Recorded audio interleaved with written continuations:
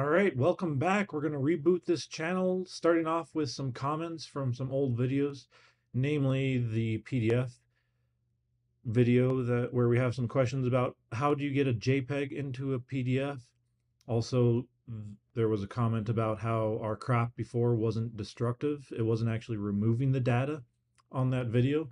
So we'll actually dive into a destructive form of cropping the data data out of the file so it actually shrinks the file as well as removing the parts that you don't want. And then also we'll move on forward with this channel. Uh, please leave some comments if you have any suggestions on what you would like to see in some future videos. With that, we will dive into the code.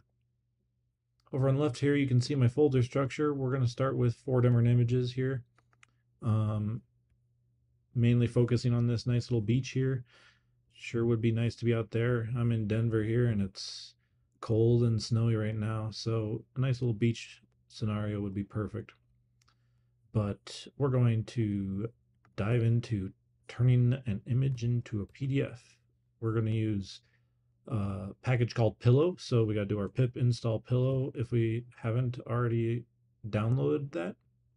Here you can see mine is already in there, but once we're in our Python file, we can do a from PIL import image. We're only using the image portion of this package right now.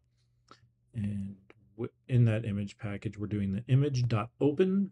In parentheses, we're going to pass it in our file name. Uh, so we're going to take all four of these, pass them into four different variables, balloons, beach, mountains, stars, and just open those up into our Python instance just now that it's inside as a variable of beach image we need to actually make sure that it's in the right format that we wanted in. And what we wanted in is good old RGB red green blue. So we're going to do a dot convert pass it in as RGB that will show you our image in line here. It's just straight up color. Um, but hey what if we wanted it in black and white that's just passing in the command of L. So convert L. And there you go. You got your grayscale. Technically not black and white, more of a grayscale. But we're going to stick with RGB. So we'll take our four image items, convert them into RGB, and then just store them as another clearly labeled beach RGB, just show that we did convert it. From there, all we got to do is rg beach.rgb.save.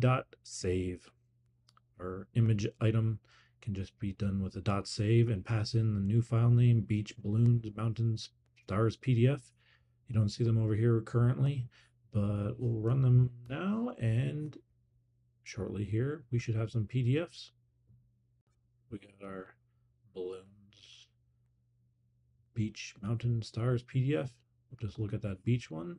Sure enough looks the same, but you'll notice here that we're actually inside of a PDF reader here. So you can get your standard PDF controls rather than in your just entered JPEG. So hope this helps.